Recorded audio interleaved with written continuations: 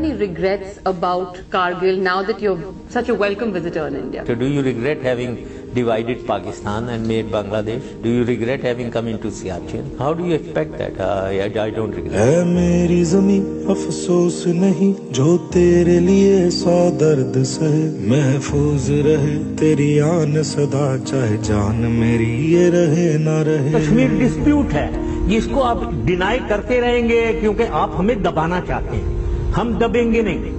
पाकिस्तान दबना नहीं चाहता है। मैं तो कभी नहीं दबूँगा। मैं ईसाई नहीं हूँ मैं क्रिश्चियन नहीं हूँ कि उनके उसमें है ना रिलीजन में कि अगर एक थप्पड़ लगा तो दूसरी चीख आप दे दें।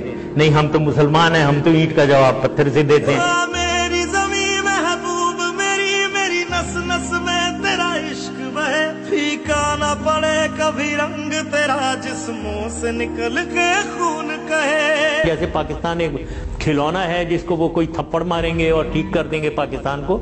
ये मत करें ये हम ब्राउडीट नहीं होंगे। मिट्टी में मिल जावा गुल बन के मैं खिल जावा। इतनी सी है दिल की आरज़ू।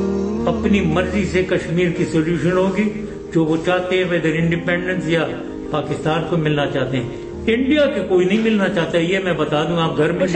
अपने प्राइम मिनिस्टर को भी बता दें। मुंबई पठानकोट कारगिल ये बात करते रहेंगे लेकिन कभी आप नहीं बात करेंगे। भाई सियाचिन की भी बात कर लो भाई बांग्लादेश की भी बात ईस्ट पाकिस्तान की भी बात कर लो।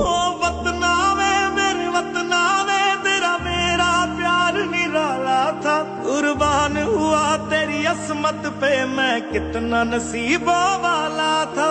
डिमांड हो रही है पब्लिक से कि हमें सजा दी जाए। हमने चूड़ियाँ नहीं पहनी हुई हैं। आप ये... करें ये इस किस्म की बातें को भूटान से अगर आप बात कर रहे हो। कोई टेररिस्ट नहीं है ये तो आप कह रहे हैं कि हम उधर आकर टेररिस्ट को मारेंगे। हैं आप हम मैंने तो इसमें इस कहा। अल्लाह अकबर आए सामने आए। हम भी आपको वहीं मारेंगे जहाँ आपको बहुत तकलीफ़ होगी।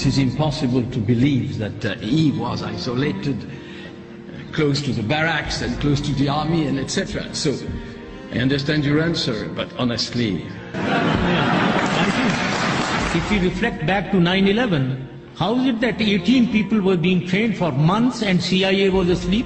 The most powerful organization? How was it?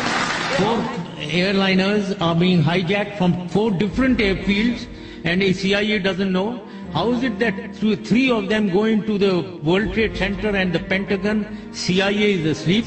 So let us allow ISI to have been sleeping once at least. भाई मेरी क्या फिक्र तुझे क्यों आंख से दरिया बहता है तू कहती थी तेरा चांद हूँ मैं और चांद हमेशा रहता है मैं बहुत एग्रेसिव आदमी हूँ। मैंने चौतालीस साल सोल्जरिंग की थी। मैंने दोनों जंगें लड़ी थी। मैंने सियाचिन देखा हुआ है, मैंने कारगिल देखा हुआ है।